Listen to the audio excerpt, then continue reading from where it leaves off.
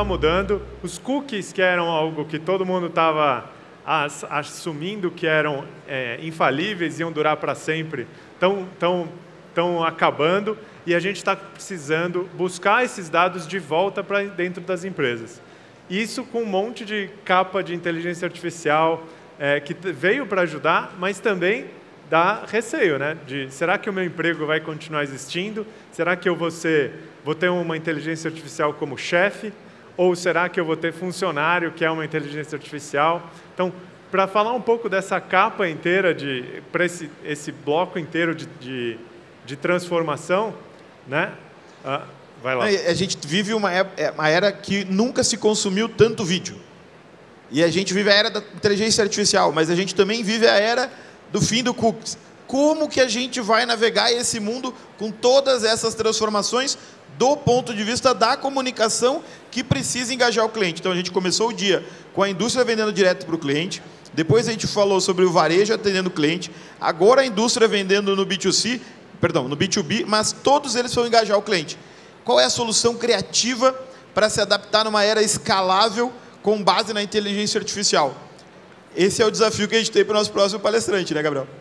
É isso aí. Para isso eu chamo o Camilo, que é da Vidmob, é, é diretor da, da Vidmob para a América Latina e vai contar um pouco para a gente como que isso tudo está resolvido. O desafio é grande, hein? Tá. Som, som. Boa. Grande desafio, mas eu adoro esse papo, cara. Principalmente, até pegando a gente fazendo a transição aqui do papo anterior, eu gosto muito de que nenhum dos da, da tecnologias que a gente fala a partir de agora, elas vão substituir a gente de alguma forma, mas ela vai substituir quem lidar com elas de uma forma ah, diferente, né? Então esse é o papel que a gente tem de entender como essas tecnologias impactam os nossos negócios e como a gente pode utilizá-las para esse processo de transformação. Vamos lá, então. A gente vai falar sobre essa revolução que vem aí com os fins dos cookies, com mudanças aí em todos os sistemas de tecnologia e a perda do sinal, como a gente fala é, no dia a dia. Mas como isso pode ser benéfico para a nossa indústria, para o nosso negócio, né? Eu vou começar aqui passando um trailerzinho de um, de um documentário que a gente fez junto com a Media Link e o MIT, uh, no Festival de Cannes, justamente para provocar essa conversa, onde a gente envolveu todos os stakeholders, aí, os principais stakeholders dessa indústria, para entrar nessa discussão e, com base nisso, a gente entra na nossa conversa aqui.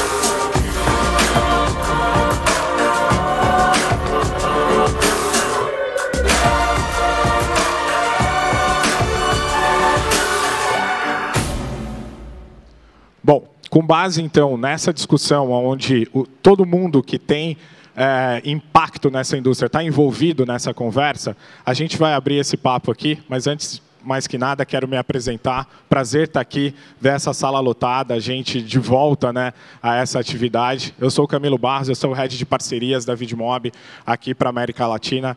Apresentando a Vidmob de forma bastante rápida, é uma scale-up que hoje atua trazendo a inteligência artificial para impactar a criatividade, empoderar a criatividade. Fomos eleitos aí a Martech mais inovadora no ano passado, assim como o Greater Good para o varejo, e acho que isso é aonde a gente tem puxado essa conversa do que a gente vai trazer a partir daqui, né? E essa conversa que a gente vai trazer, ela parte de um ponto que a gente vem de uma indústria que está atuando da mesma forma já há um bom tempo. Né?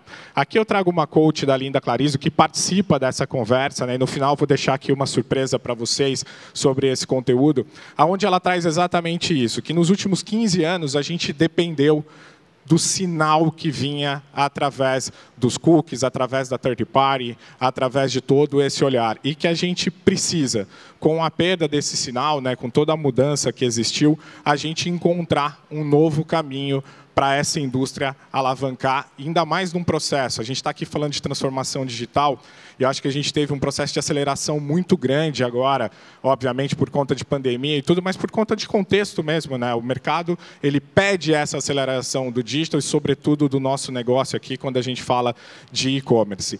E é uma transformação que ela precisa de estar todo mundo junto. Ela precisa de ter todos esses stakeholders, por isso lá eu quis apresentar antes para vocês as pessoas que fazem parte dessa conversa, mas ela precisa ser uma coisa da indústria, ela não pode ser de um seller, de um é, provedor de tecnologia.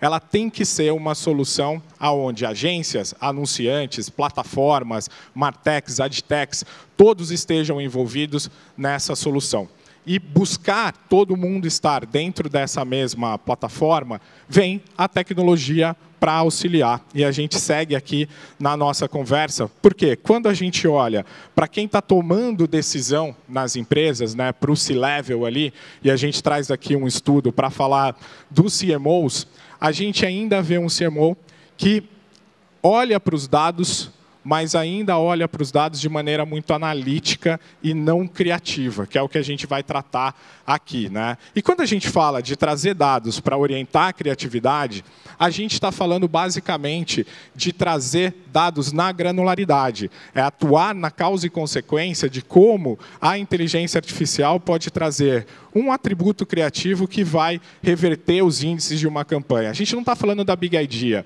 a gente não está falando de nada que vai matar a criatividade. Não vai ter um robô criando no lugar de um ser humano. Jamais. Porque criatividade é o principal skill humano, é o que eu mais gosto, aliás, e eu acho que o que a gente precisa é retomar a criatividade, é essa jornada que a gente vem buscando a cada dia. Olhando ainda para esse, esse CMO, para essa busca né, que a gente tem de entender, e aí eu comentava né, no, no, no slide anterior que a gente vê o CMO olhando para dados e a gente fala que o futuro é, do C-Level é um entendimento de dados, o futuro de toda a companhia é o entendimento de dados. Dados é a intimidade entre consumidor e o seu negócio. Mas a gente ainda tem essas discrepâncias. Né? Se a gente olhar ali pelas principais indústrias do mercado, a gente ainda vê o lado analítico, o lado quantitativo, ainda sobre, sobressaindo sobre o lado qualitativo, sobre o lado da criatividade, sobre a forma que a gente tem de atuar em cima desses dados para impactar de fato negócios, impactar de fato esses processos. Né? Então a gente vem acompanhando, a gente vem tentando entender esse comportamento e tentando de alguma forma trazê-los para essa conversa e oferecê-los estes dados na forma de tomada de decisão, na forma de ser consultivo e orientativo para isso acontecer. A gente chega aqui em 2022 e muitos de vocês já são impactados por isso, né? É, 2022 começou ali com uma série de notícias que para muita gente são más notícias e para outros são oportunidades que a gente tem. Né? 2022, então, começou com um ano que a gente teve muita mudança nas regulamentações globais de privacidade, né? não só falando da, das leis gerais de proteção, não só falando é, de atuações específicas e governamentais, mas falando também da política de dados através das plataformas digitais. A gente vê aí os grandes, né, as big techs, mudando muito a nossa indústria da forma que que eles têm nos privado de alguns dados ou de, da forma que a gente tem de regular alguns dados. Por outro lado, a gente ainda é, tem uma certa marginalidade para os dados. Né? Eu, eu, eu, gosto muito de entrar nesse caminho aqui, porque quando a gente pega lá a Netflix, o, o Prime, a gente vai assistir os documentários, parece que dados é a pior coisa do mundo, né? É pior que droga, é pior é ilícito e tudo. E não, a gente pode transformar dados em oportunidades, em coisas boas. E é disso que a gente quer falar, é disso que a gente quer trazer. Como um dado pode impactar num resultado, sobretudo no que a gente vai falar aqui de resultado criativo. Não pode ser um pecado a gente ter uma orientação por dados. É esse caminho que a gente quer construir.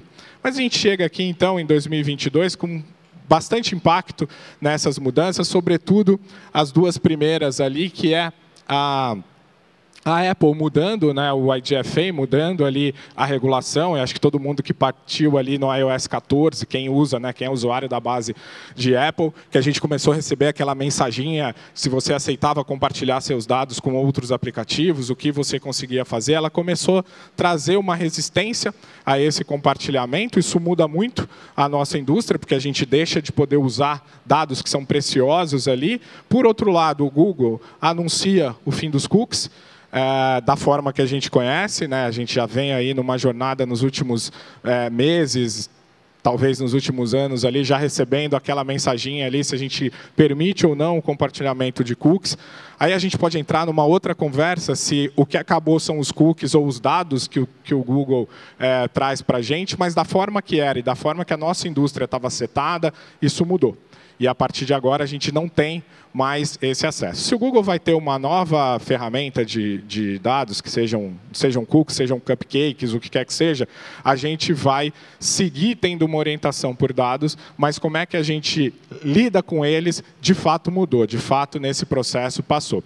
E, obviamente, ali todas as plataformas de anúncios, é, eu estava agora há pouco no palco ao lado ali, a gente estava numa discussão sobre o, anúncios em marketplace, e a gente vê também isso mudando e a forma de atuar. Ou seja, está cada dia mais complexo, está cada dia mais difícil a gente ter esse olhar. E trabalhar com hipersegmentação, trabalhar com aquilo que a gente está acostumado a fazer, principalmente utilizando dos recursos de mídia que vinham através desses dados, a gente está no caminho para isso acabar, para isso ficar cada vez mais difícil. O acesso à third party, o acesso a esses dados que não são nossos ou que não estão diretamente ligados a nós, fica cada vez mais difícil e a gente vai olhando para isso como algo que a gente já fazia no passado. E tem muito anunciante, muita agência, muito é, desses stakeholders que a gente tem conversado que já tem utilizado outras ferramentas, outras formas de trabalhar. Então, independe o que, que a gente está falando aqui,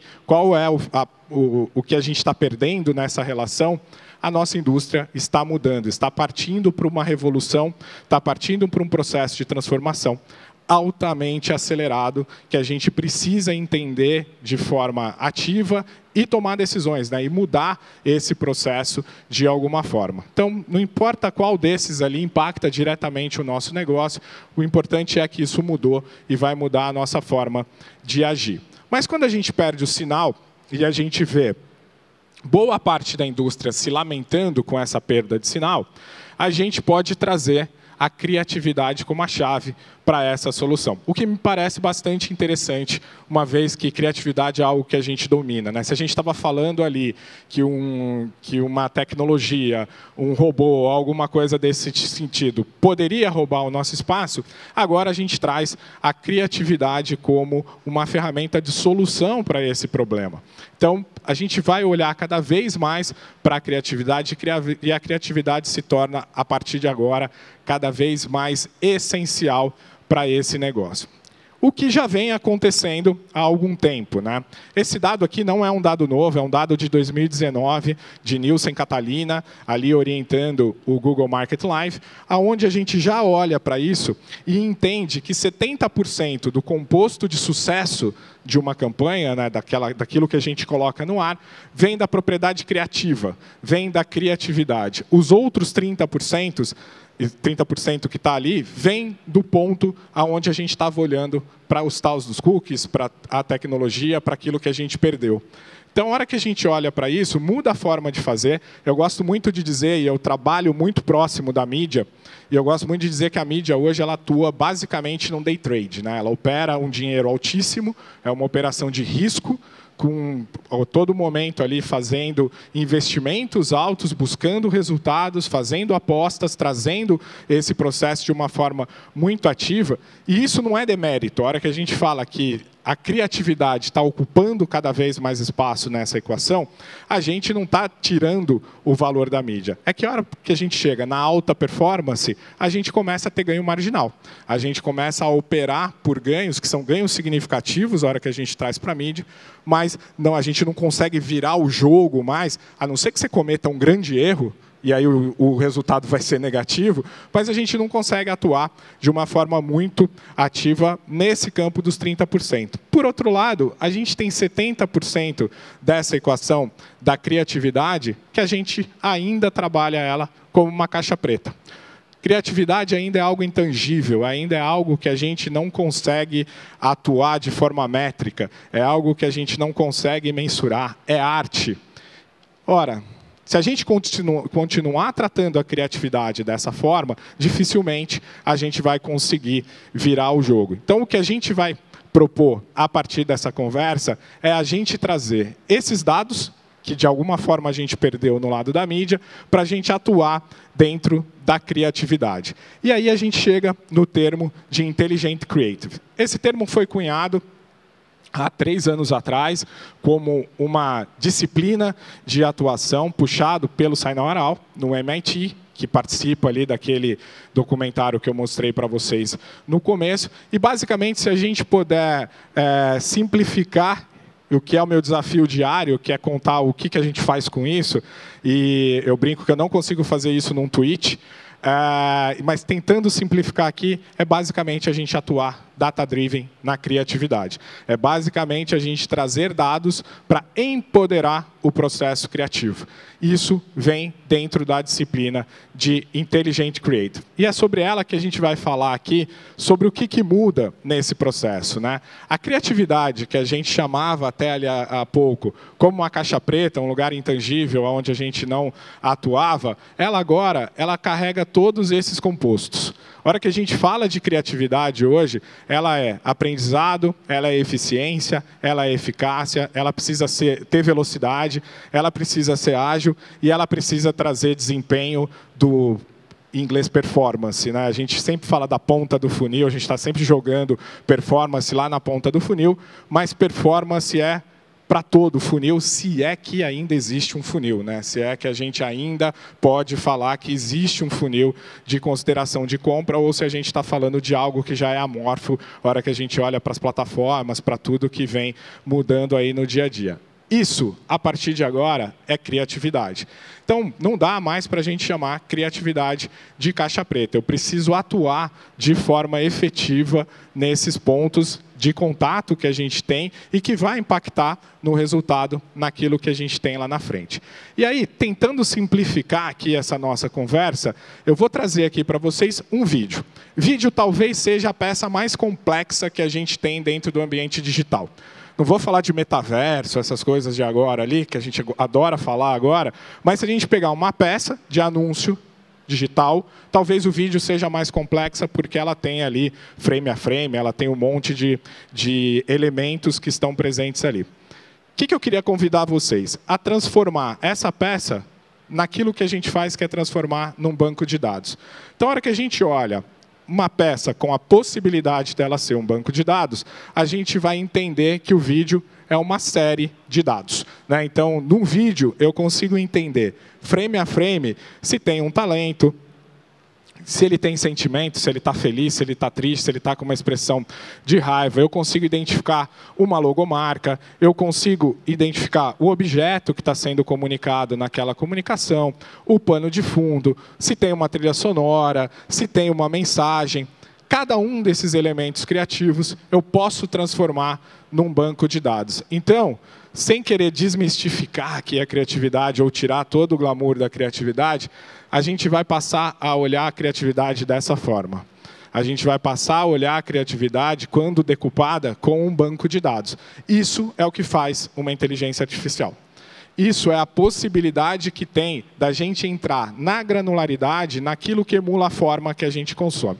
Lembra que esse vídeo aqui, a hora que a gente colocar ele no nosso mobile, na nossa mão ali, ele está competindo com uma série de coisas. Ele está competindo com fotos incríveis do final de semana, com disputa política, com polarização, com anúncios belíssimos e bem executados, outros nem tanto. Então, isso vai de alguma forma concorrer com outra série de dados. E como é que eu começo a entender e atuar sobre essa série de dados e trazer essa execução. A linha azul que vocês podem ver ali é o dado que vem de mídia, é o dado de performance, é como esse criativo está sendo consumido de alguma forma. Que para gente simplificar também a conversa, são os analíticos de mídia que a gente continua recebendo direto da plataforma de mídia agora. Não mais pela terceira parte, não mais pela, pelas mudanças todas ali que a gente teve, mas ela continua sendo uma entrada em algumas tecnologias, como a, a que eu represento aqui, a gente tem a capacidade de receber em first party esses dados, que são os dados de mídia, os dados que vocês estão acostumados a receber. Do outro lado, eu transformei criatividade em banco de dados. Né? Foi o que a gente fez ali há pouco atrás, que são meus atributos criativos. A hora que eu cruzo esses dois bancos de dados, eu passo a ter uma correlação entre como cada um daqueles elementos, lembra lá que tinha o talento, tinha a marca, tinha o pano de fundo, tinha a trilha sonora, como cada um desses elementos criativos impactam em cada uma das métricas, em cada um dos objetivos que a gente tem com aquela campanha. Eu vou, a partir dali, gerar causa e consequência sobre como a mente do nosso consumidor, né, quem está consumindo os nossos anúncios, está pensando em relação ao que eu estou executando. Parece complexo, talvez seja complexo, mas a ideia é que a gente traga isso de uma forma bastante visível, bastante fácil, não que a gente tenha uma necessidade de todo mundo virar analista de dados, de todo mundo aqui de alguma forma atuar é, como analíticos, é exatamente o contrário que a gente está falando, é como a gente traz a facilidade do analítico para a tomada de decisão, mas basicamente a gente tem a capacidade, utilizando machine learning, utilizando inteligência artificial, de decupar um criativo que emula a forma que a gente humano entende e por que que a gente toma uma decisão de permanecer mais tempo em um criativo, de clicar naquele criativo, de de alguma forma, encaminhar aquele criativo para uma tomada de decisão, ou seja, por qualquer métrica que a gente traga como sucesso das nossas campanhas. Né? Então, quando a gente fala desse cruzamento de dados criativos com atributos de performance ali que a gente vem da mídia, a gente começa a responder uma série de mitos, verdades ou nem tanto que a gente tem no dia a dia. Sabe aquela, aquela mítica de que põe uma criança e um cachorro que funciona e vai ter o criativo ali tendo, tendo sucesso? Quanto tempo deve durar o meu criativo? tanto em tempo do, do, do, tamanho dele mesmo, quanto dentro de um plano de mídia. Funciona mais o meu personagem ou o talento ou o influencer que eu vou contratar? Qual influencer funciona mais? Se eu estou falando de uma campanha de família, venda, sei lá, de material escolar, funciona mais a mãe ou funciona mais eu colocar a família completa?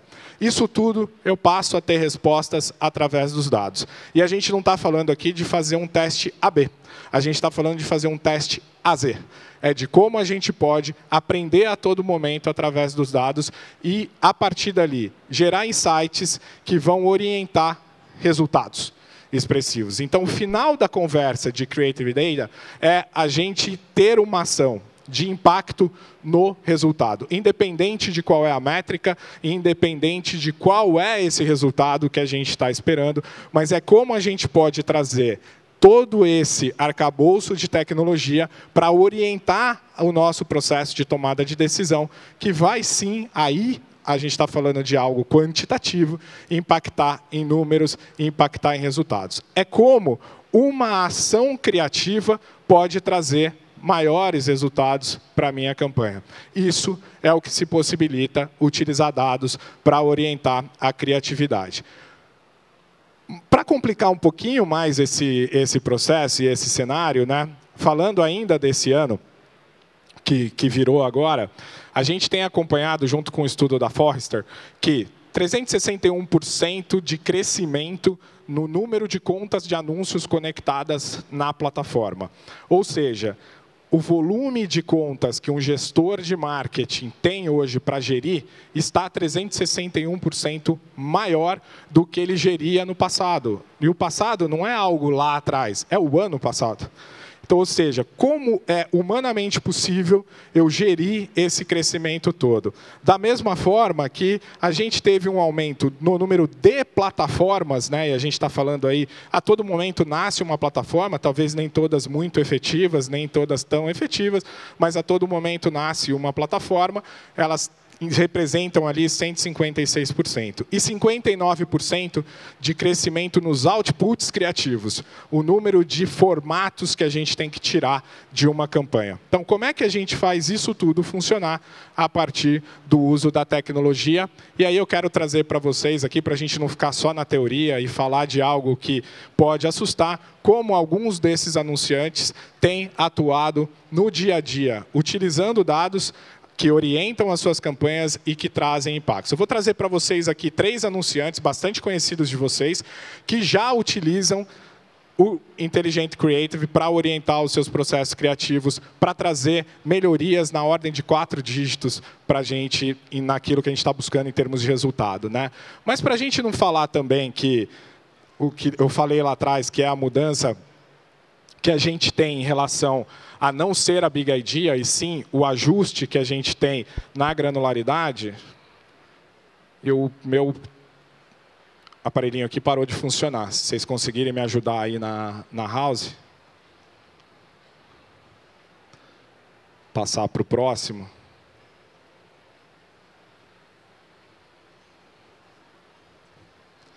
Não está aqui. Mas, basicamente, o que a gente vai trazer para vocês são melhorias em cima desse processo criativo, melhorias sutis nesse, né, nessa mudança. Né? O próximo slide, que assim que a gente tiver ele, a gente vai conseguir ver isso, a gente vai ter um criativo desenvolvido pelo anunciante, que depois recebeu esse dado, né, essa orientação data-driven desse processo e que resultou numa melhoria desse processo criativo e que impacta ali nos resultados. A gente consegue puxar por ali, só para a gente não comprometer o tempo aqui? Da gente passar para o próximo? Espera aí que eu acho que foi alguma coisa lá. Mas basicamente aqui, então, a gente tem um anunciante que nesse caso aqui ele estava buscando um clique, né? ele estava buscando que alguém tivesse uma ação interativa com aquele criativo, que era ir para a sua plataforma de venda, ir para o seu e-commerce, buscar essa, essa mudança, e a partir dali ele teve a partir do momento que a gente trouxe os dados para carregar esse processo, ele teve 989% de crescimento nessa métrica de geração de cliques. Eu vou trazer no próximo slide para vocês outras métricas que a gente analisou e que podem ser impactadas dentro desse, dentro desse processo. É, na sequência, porque eu vou ter que passar rápido aqui, que meu tempo está acabando, a gente vai ver um anunciante que também buscava geração de leads na, na aquisição de cartão de crédito. Né? O próximo exemplo que a gente vai ver aqui é um exemplo de, de Itaú, de IT, que também tem um processo, ó, aqui voltando então, já que a gente retomou aqui, o do lado direito aqui da tela, obrigado, querido do lado direito da tela aqui, a gente tem o que era o que a gente pode chamar de asset original, que vocês podem ver ali. Depois, com o uso de dados, a gente transformou esses assets aqui originais naqueles que são os assets otimizados, orientados pelos dados, que a gente aprendeu através dos dados como é que ele responderia melhor. E a gente tem aí esses resultados, né? 989% na geração de cliques, 1000% no view de 100%, que é fazer com que a pessoa fique 100% do tempo do vídeo ali é, assistindo até o final, né? esse, esse esse vídeo, 106% no Video Completion Rate. Eu já estava falando aqui do, do Itaú, né? estava falando do IT, e também a gente estava buscando ali registros completos, é uma outra métrica na busca de conversão, aonde também utilizando dados, a gente teve aí um crescimento de 233%. De novo, eu trago aqui para vocês os criativos convencionais sendo desenvolvidos pela agência do, do banco e como isso é, foi trabalhado em cima dos dados. Vocês podem ver que a gente não está reinventando a roda, a gente está trazendo como, basicamente, é, vamos lá ganhar um leão em Cannes, depois como é que a gente faz esse leão funcionar num bumper ads de seis segundos. É isso. É como a gente consegue entender o funcionamento da mente humana no consumo de um criativo e orientar esse criativo e sua big idea para essa performance. E para fechar aqui em termos de exemplos, trazendo aqui a Diageo com o Debar, que aí está bem dentro do e-commerce, né, bem dentro do negócio do, do evento, que a gente também teve um entendimento aqui dos assets originais. Eu vou passar rápido aqui porque meu tempo está acabando, mas a gente tem aqui o asset original de Diageo. Vocês podem ver que ele apresentava ali cada um dos, dos produtos de forma única. Eu vou dar um corte nele aqui, trazer o próximo. E a gente trouxe simplesmente apresentar na criatividade. Vocês podem ver que é muito simples, mas a gente tirou por dados que, se ele apresentasse o portfólio completo, ele teria um CTR maior do que produto a produto e a gente teve um crescimento de 377%. É capaz da gente, somente com a mente humana, chegar a esse diagnóstico? Sim. Inclusive, esse anunciante conta com vários é, stakeholders do processo dele que já faziam isso de forma granular. O que a gente faz é trazer isso real time, trazer isso para o dia a dia, para a tomada de decisão de forma rápida e efetiva. Esse processo não é, é, ele é uma jornada que a gente vai construir, é uma jornada que a gente vai começar, aonde a gente puder começar. Então, não importa onde você está dentro do processo de transformação digital, você pode estar ali no menor é, degrau dessa escada, olhando para melhores práticas, olhando para como as plataformas de mídia te orientam uma melhor produção, ou você pode estar tá lá dentro do teu processo de Intelligent Creative, que é o que a gente conversou aqui nessa jornada, e aí sim atuando data-driven, tendo ali um olhar. Qual que é a diferença disso? O impacto, o resultado. Quem está mais preparado, quem já está lá no fim dessa jornada, está tendo resultados ROI, ROAS, muito mais significativos do que quem está no início dessa jornada, mas ela é para todo mundo. E aí, então, esse movimento, ele muda algumas coisas da forma que a gente vê. Né? Antes, a gente fazia uma campanha e olhava o pós-mortem dela. Agora, a gente tem que ter insights real time. Antes, a gente tinha agências como silos. Era, eu tinha a minha agência. Né? Hoje a gente tem que ter um time colaborativo, todo mundo, agência de performance, agência de marca, agência de mídia, in-houses, todo mundo trabalhando, AdTechs, Martechs, todo mundo juntos ali. Antes a gente ia pelo feeling, né? pelo gut, pelo instinto da gente fazer. Agora é dado informando a criatividade e não tendo a third party, a gente tem que utilizar ali o que a gente tem, que é essa orientação. Fechando aqui o nosso papo, se a gente está.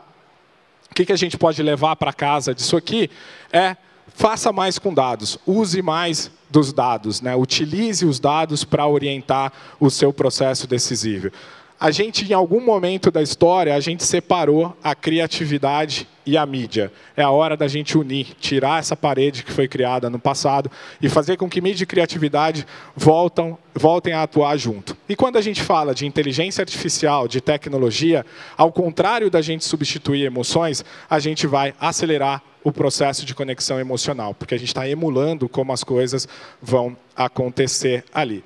Eu queria deixar para vocês aqui, como um presente, é, quem puder aí acessar esse QR Code, vocês vão ter acesso ao vídeo completo desse documentário, que eu apresentei o trailer para vocês lá, lá atrás. Então, eu vou dar aqui um, dois, três. Quem conseguiu? Senão, depois eu peço para a organização encaminhar para vocês. E vou deixar aqui mais um brinde para vocês, que é um playbook que tem todo esse estudo também e pode orientar vocês no dia a dia a tomar decisões e se orientar por dados, buscar os seus parceiros ideais aí dentro desse processo de criatividade data-driven. Pessoal, muito obrigado pelo tempo de vocês. Espero ter acrescentado aí os meus dois cents nessa jornada, nesse processo de transformação digital. Obrigado. Muito obrigado, Camilo. Incrível, hein, Camilo? Parabéns. Achei super legal. Muitas perguntas, né? Porque, engraçado, você passou por tanto tema né, nessa história, de cookies a criativos e como que a gente gerencia esses dados dos criativos na, na, na comunicação. É, eu vi umas coisas interessantes e eu acho que isso que é legal passar para o nosso público. São essas deixas de o que, que você tem que fazer quando você está montando um criativo, né? Essa história de no, nos três primeiros segundos tem que ter foto do seu produto, né? É, tem algumas outras dicas que você pode dar assim de que Cara, mudam o jogo? Eu, a gente gosta muito de dizer né, que a gente parte utilizando a tecnologia de um processo e aí eu não sei quem, se todos aqui estão familiarizados né, com os Brilliant Bases, com as melhores práticas, que tem ali o básico. Né? Então o básico ele preconiza que você tenha que apresentar a marca nos três primeiros segundos. Mas se a gente pegar, por exemplo, a Coca-Cola, ela não tem a necessidade de apresentar a marca nos três primeiros segundos. A Nike não tem a necessidade de apresentar a marca nos três primeiros segundos. O que, que é importante para ela apresentar? Aí a gente vai entender o que, que os dados trazem de orientação para isso.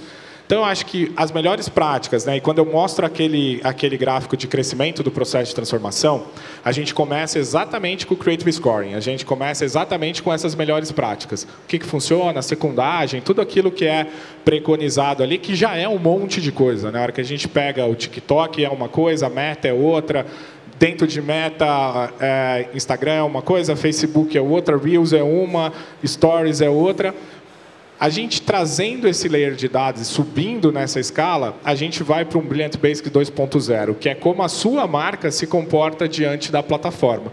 Então, talvez isso que é preconizado, principalmente para marcas líderes de segmentos, já não, não vale mais, porque o, a tua resposta desse processo criativo já é diferente do que está sendo ali. Então, eu não gosto de trazer uma cartilha sobre o que funciona e o que não funciona. O que eu falo é traga a sua marca para uma tecnologia, né? no caso aqui eu estou representando a, a nossa, a Vidmob, mas que possibilite você a tomar uma decisão de acordo com aquilo que responde sua Perfeito. marca. Você sabe que eu sou old school, né? A gente está nesse mercado há tanto tempo e com marketing é, direto eu estou há mais tempo ainda, né? Então, desde aquela época que a gente fazia mala direta, esse tipo de coisa. E a gente sempre aprendeu que tem que fazer segmentação e tem que fazer algum tipo de Champion Challenger ou teste AB. Então você está sempre testando entre múltiplas opções para ver qual que funciona melhor. E agora a gente virou um pouco essa chave, né? Quer dizer, tem inteligência artificial que te ajuda a prever o que, que vai acontecer antes de você, é, de fato, soltar a comunicação. Então, por exemplo, título de e-mail muda totalmente a conversão de um e-mail que você vai disparar em função de se ele está adequado ou não para o público que você tem. E tem inteligência artificial que te ajuda a decidir entre opções, já prevendo como que é. Isso é mágica, tem uma bola de cristal, tem uma bruxaria aí. Como que é essa história? Como que ele consegue descobrir tudo isso? Não, não é feitiçaria, é tecnologia, né? Já dizia ali o, o comercial. É, não, é a tecnologia, são dados, orientação. Eu acho que o e-mail marketing ele é ainda mais necessário esse entendimento do seu consumidor e o que, que você vai entregar para ele, porque aí sim é uma, uma comunicação direta. Hoje, a quantidade de e-mails que você recebe, se você não tiver esse título e esse entendimento, você não vai clicar e, e abrir ele, da mesma forma que você é, tem ali no, nos anúncios. Qual é a diferença? No caso do CRM, do e-mail marketing, tudo, você tem um dado adquirido que muitos se é, perderam né, recentemente aí com, com a mudança de, de, política de dados também, LGPD, mas quem tem esse dado tem um dado precioso, ele entende o consumidor quase que no um a um e isso ainda é permitido. No campo de anúncios, né, nessa seara que eu estava apresentando, isso é impossível hoje, a gente já não consegue chegar no um a um. Quando a gente fala de criativo e, e, essa questão de personalização, variavelmente implica em você ter N criativos diferentes para a mesma ação que você está fazendo quando você quer personalizar e falar com o cliente um para um. Né? É, e eu, ao mesmo tempo, eu estou vendo a revolução que está vindo aí com o DALI 2.2 e, e outras plataformas que brotam criativos baseados em comando. Você acha que isso vai mudar o jogo? Você acha que a gente vai começar a fazer criativo que ninguém tirou foto de nada? É, como que isso vai acontecer? Não, a gente está falando que a gente precisa trazer a criatividade de volta. E a criatividade vem de eu ter primeiro uma base, uma asset original, que é foi o que eu mostrei ali para vocês, de quali, com qualificação. Eu preciso usar os dados para orientar um shooting, para orientar a captação dessa, dessa campanha lá. E a automação, eu falo que a gente passou recentemente, felizmente a gente está saindo dessa seara, que a gente passou pela sedução da automação. Né? Todo mundo queria uma ferramenta de automação para produzir em escala, para produzir muita coisa. Que só gera uma coisa, aumentar teu erro. Porque você tem a possibilidade de errar, né? a gente está falando que é 70% de um composto é a criatividade. Se eu acelero aquilo dentro de uma ferramenta de automação e começo a criar modelos ali é, quantitativos para isso, a chance que eu tenho de aumentar meu erro é gigante para isso, né? Então eu gosto de tratar a automação, eu gosto de tratar essas ferramentas como a última milha do processo criativo.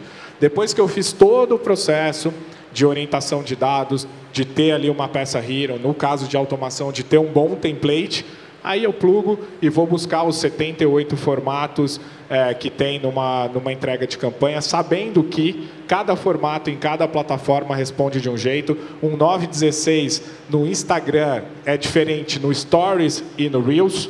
E eu preciso saber disso, meu criativo não vai funcionar ali, que não vai funcionar muito menos no TikTok, a hora que eu jogo para lá. Então não dá para ir para uma ferramenta que não tenha inteligência, que ela não carregue a inteligência dentro desse processo. Ela vai fazer aquilo que é humanamente impossível. A hora que você chegar e falar assim, cara, este enxoval de banners, eu tenho 48 formatos com variações de endereço e algum produto, um catálogo, alguma coisa, eu posso usar a automação para trazer isso como resposta. Perfeito. Então quer dizer, o emprego desse cara que é artista digital está garantido por mais um tempo. Garantido é e valorizado cada vez mais. Boa.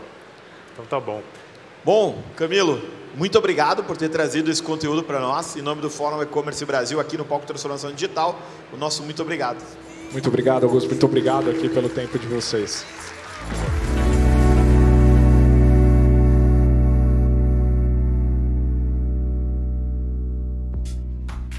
E aí, gostou do vídeo? Então não deixe de curtir e compartilhar. Aqui do lado tem duas sugestões que você pode gostar. Até a próxima!